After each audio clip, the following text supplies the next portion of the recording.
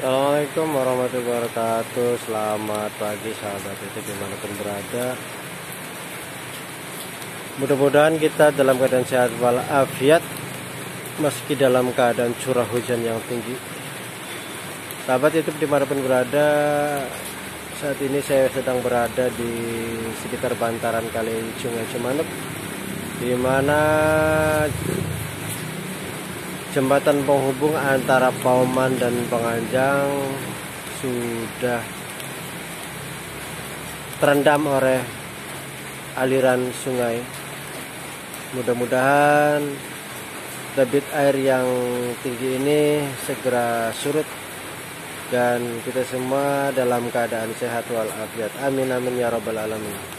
Demikian pantauan dari lokasi bantaran Sungai Cimanuk. Wassalamualaikum warahmatullahi wabarakatuh.